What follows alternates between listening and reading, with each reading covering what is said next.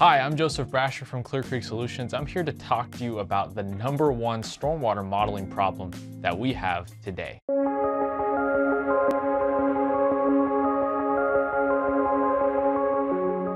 You don't know about Clear Creek Solutions, we are the designers and developers of the WWHM, the Western Washington Hydrology Model, as well as WWHM4, the new and upcoming WIMSWIM, as well as many other software packages used along the West Coast and all the way down into the state of Texas.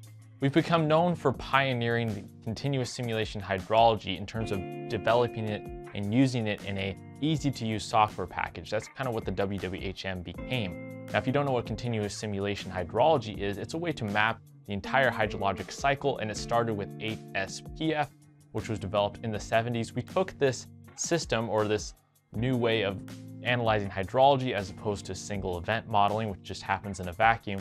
We took HSPF, we put that in an easy to use interface. That was the first version of the WWHM all the way up to the newest version, which is WWHM 2012.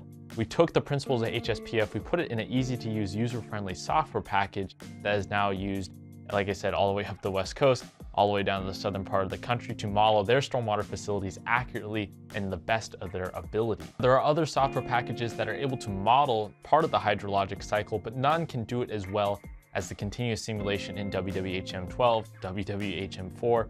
These are the best ways to do it and the best ways to model our facilities to meet flow duration criteria, prevent those erosive flows, and they've been used for over 20 years now in some areas. Now we know it is difficult to model the entire hydrologic process. Even a software like WWHM 2012 doesn't have many hydraulic modeling capabilities.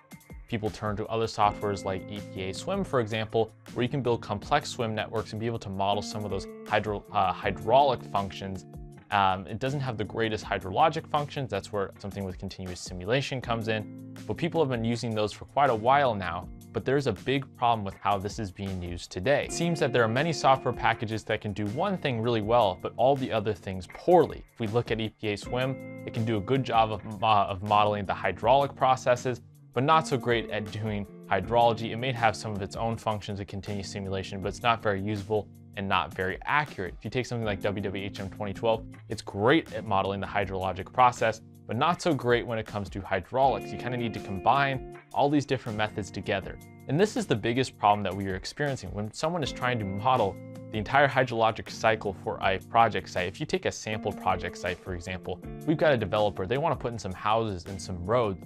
We're going to need to use three, four, who knows how many software packages and methods to model this whole system together. You're to need land use information and put it into a continuous simulation model. Then we're gonna have to take that information, put it into a hydraulics model. Maybe we need to do separate calculations to calculate sewer pipe sizes. It just, it goes on and on. There's a lot of different things that people are having to use. And this hodgepodge of technique is the biggest problem when it comes to project development. Think about this for a second. If we're using multiple aspects or these multiple software packages, your own Excel spreadsheets that you've built over the years, EPA SWMM, doesn't matter. If you're using all these methods, you're wasting a lot of time bouncing data between these different things. And it's making it very difficult for you to finish your project on time, quickly, be able to go back and reference data that you did in a previous project because it's all spread out all through all these different methods.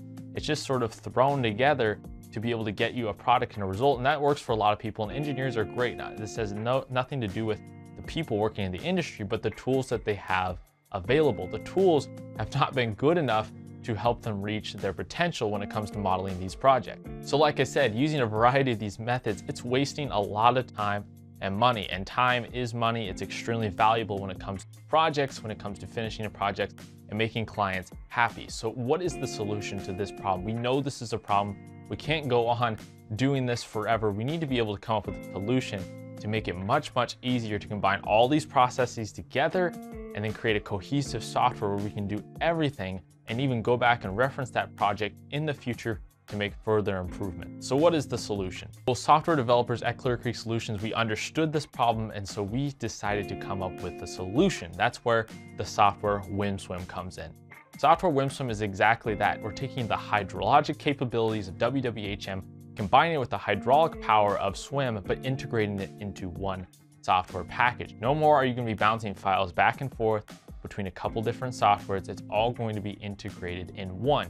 You can use the elements of one in another. It is very, very powerful tool with amazing analysis features. We took that continued simulation power of HSPF and WWHM 2012 and all your favorite elements, we've combined it with SWMM, so you don't need to move those hydrographs over.